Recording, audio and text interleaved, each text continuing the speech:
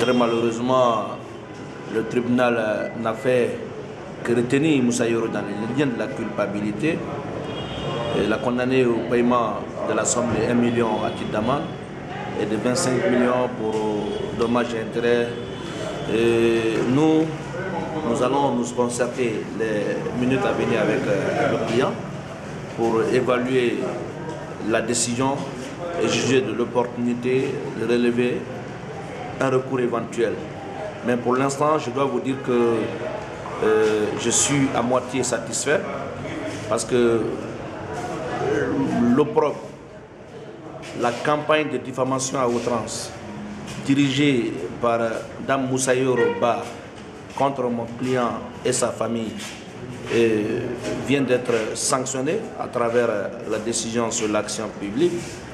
Euh, nous saluons quand même cette sanction de principe et nous estimons que cette décision pourra à moitié soulager la souffrance de mon client et sa famille dont l'honneur et la considération ont été jetés en pâture à la vindicte populaire par cette campagne à outrance de diffamation. Je dois vous dire aujourd'hui qu'au-delà de Moussa Yoruba, cette décision doit interpeller tout le monde, journaliste ou non journaliste. Il faut désormais se garder d'avancer des propos, de proférer des allégations ou d'imputer des faits à des citoyens sans avoir la moindre preuve. Aujourd'hui, la justice a donné le ton et nous restons encore sous nos gardes. Toute personne qui se permettra de faire comme Moussa Yoro à l'égard de M. Mamadou Ouriba se retrouvera encore ici pour être jugé conforme à la loi. Merci. Encore une fois, j'exprime toute mon indignation par rapport à, cette condamnation parce que vous, la presse, vous avez suivi ce dossier tout au long des débats jusqu'aux réquisitions et plaidoiries.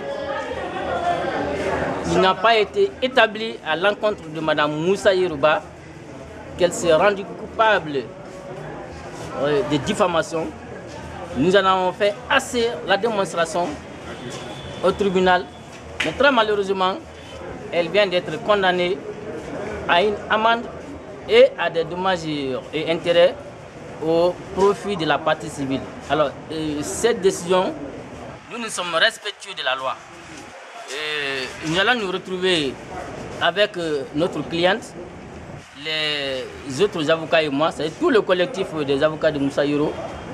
Et je vous informe que dans les heures, dans les jours qui suivent, avant l'expiration du délai d'appel, nous allons déposer une lettre d'appel parce que nous estimons que euh, le tribunal a fait une mauvaise appréciation des faits pour aboutir euh, à la condamnation de Mme Moussaïro des faits euh, qu'elle n'a pas commis. Donc pour le moment, c'est ce que je peux vous dire en attendant de nous retrouver.